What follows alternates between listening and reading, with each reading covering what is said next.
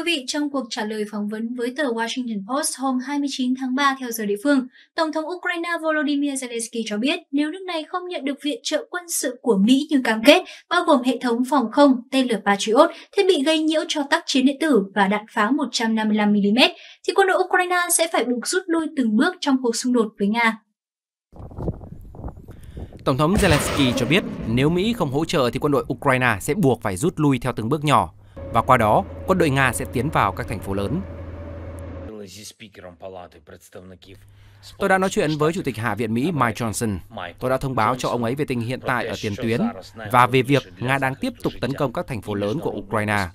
Cuộc xung đột đang ngày càng leo thang và Ukraine chỉ có thể ngăn chặn Nga khi được cung cấp đủ khí tài.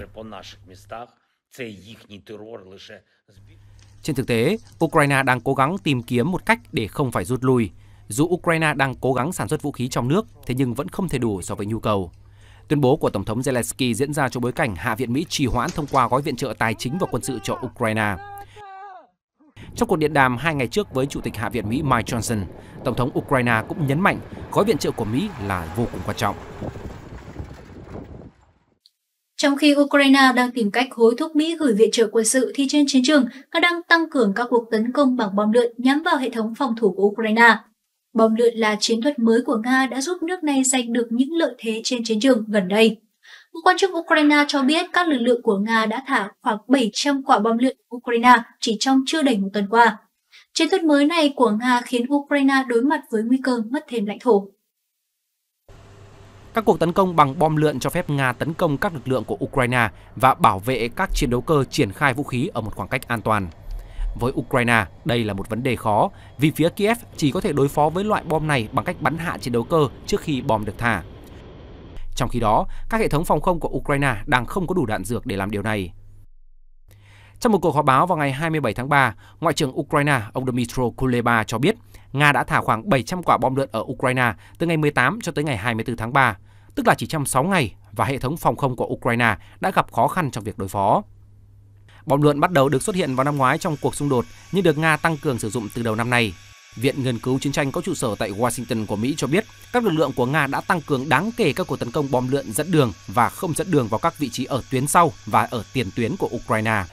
Việc triển khai các cuộc tấn công bằng bom lượn trên quy mô lớn đã góp phần mang đến hiệu quả chiến thuật cho Nga trong nỗ lực giành Avdiivka vào giữa tháng 2 vừa qua. Ukraine từng tuyên bố bắn hạ thành công một số máy bay ném bom của Nga, đặc biệt là Su-34. Dù vậy, nước này đang phải đối mặt với tình trạng thiếu thốn nghiêm trọng đạn dược và các hệ thống phòng không, nhất là khi gói hỗ trợ của Mỹ cho Ukraine vẫn bế tắc tại Quốc hội Mỹ. Viện Nghiên cứu Chiến tranh cho biết, nếu hệ thống phòng không Ukraine suy yếu, điều này sẽ cho phép Nga tăng cường đáng kể các cuộc tấn công bằng bom lượn trên quy mô lớn và thậm chí có thể cho phép các lực lượng Nga tiến hành các chiến dịch trên không thường xuyên hơn nhằm vào các thành phố và tuyến hậu cần của Ukraine với sức tàn phá rất khủng khiếp. Chuyển sang những tin tức quốc tế đáng chú ý khác. Báo cáo công bố ngày 29 tháng 3 của Cơ quan Thống kê Quốc gia Italia cho thấy tỷ lệ sinh tại nước này đã giảm 3,6% trong năm 2023 xuống mức thấp nhất trong thời đại khi chỉ có 379.000 trẻ được sinh ra. Điều này khiến Italia phải đối mặt với tình trạng già hóa dân số nhanh chóng, thiếu hụt nguồn lao động và các vấn đề xã hội khác. Theo báo cáo của Cơ quan Thống kê Quốc gia Italia, trung bình thì phụ nữ Italia sinh con đầu lòng ở độ tuổi 32. Điều này khiến thời gian sinh con của họ bị giảm xuống. Cũng theo báo cáo này, trong số những trẻ được sinh ra ở Italia trong năm 2023, có 13,3% là con của công dân nước ngoài sống ở quốc gia này, giảm từ mức 15% của một thập kỷ trước đó. Những dữ liệu cho thấy cuộc chiến khó khăn mà Thủ tướng Italia Giorgia Meloni phải đối mặt khi bà tìm cách đảo ngược tình trạng già hóa dân số nhanh chóng ở quốc gia bằng cách khuyến khích phụ nữ sinh thêm con. Giới chuyên gia khuyến cáo cần phải có những giải pháp nhanh chóng giúp đảo ngược tình trạng suy giảm nhân khẩu học tại Italia. Mà điều quan trọng nhất là phải có những chính sách dài hạn nhằm giải quyết những lo ngại về vấn đề kinh tế xã hội vốn đang khiến nhiều phụ nữ không muốn sinh con. Cơ quan thống kê quốc gia Italia cho biết, quốc gia hiện có hơn 4,5 triệu người trên 80 tuổi, trong khi chỉ có 4,4 triệu trẻ em dưới 10 tuổi. Chính phủ Italia vẫn tiếp nối chương trình trợ cấp cho trẻ em do chính phủ tiền nhiệm đưa ra vào năm 2021, đồng thời tăng tiền trợ cấp hàng tháng cho các gia đình có trẻ nhỏ. Italia cũng đã phân bổ 1 tỷ euro cho các biện pháp hỗ trợ phụ nữ có con, trong đó có việc trả tiền đóng quỹ lương hưu cho những phụ nữ đi làm có ít nhất hai con nhỏ. Dù đã tích cực đưa ra các giải pháp, nhưng các chuyên gia cảnh báo Italia vẫn phải đối mặt với những trở ngại cơ cấu lớn trong việc ổn định dân số. Theo một báo cáo gần đây, thị trường 5G đang phát triển mạnh mẽ của Trung Quốc dự kiến sẽ đóng góp gần 260 tỷ đô la Mỹ vào tổng sản phẩm quốc nội GDP trong năm 2030, với số lượng kết nối 5G chiếm gần 1 phần 3 tổng số toàn cầu. Ngành công nghiệp viễn thông đã đóng góp tới 5,5% GDP của Trung Quốc vào năm 2023. Theo một nghiên cứu của Hiệp hội Di động đặc biệt Groupie, dự kiến đến năm 2030, gần 1 phần tư GDP của ngành công nghiệp viễn thông sẽ đến từ công nghệ 5G.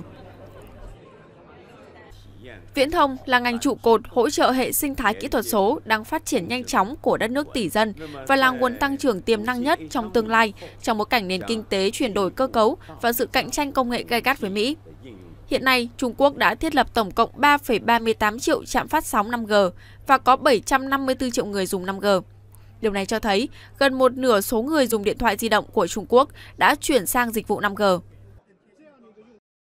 Trung Quốc có số lượng người sử dụng điện thoại di động nhiều nhất thế giới. Theo số liệu từ Cục Thống kê Quốc gia Trung Quốc, tính đến cuối năm 2023, cứ 100 người thì có 122,5 chiếc điện thoại di động.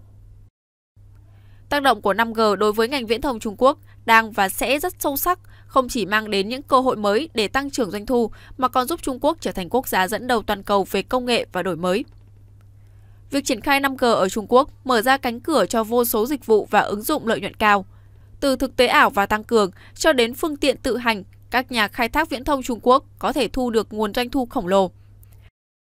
Mới đây, Huawei, một trong những tập đoàn công nghệ lớn của Trung Quốc và là nhà sản xuất thiết bị 5G hàng đầu của thế giới cho biết, lợi nhuận của tập đoàn này đã đạt lợi nhuận là 87 tỷ nhân dân tệ, tương đương 12 tỷ đô la Mỹ trong năm 2023, tức là lợi nhuận tăng hơn gấp đôi so với mức 35,6 tỷ nhân dân tệ, tương đương 5 tỷ đô la Mỹ của năm 2022.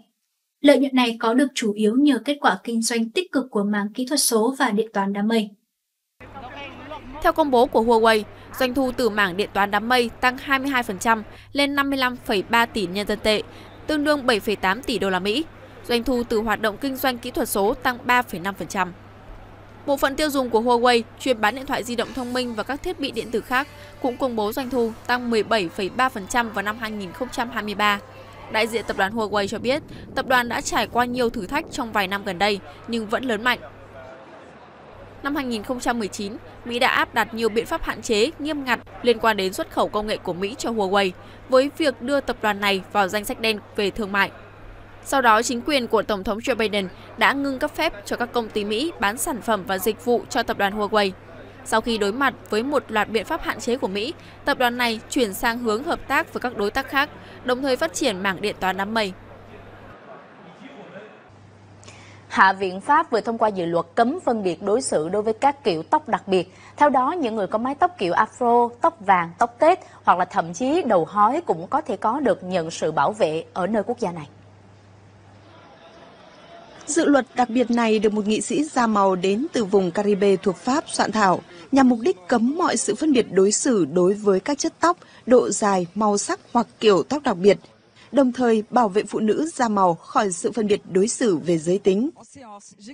Dự luật đã được Hạ viện Pháp thông qua ngày 28 tháng 3 với tỷ lệ 44 phiếu thuận, 2 phiếu chống. Sau đó cần được Thượng viện thông qua để chính thức trở thành luật.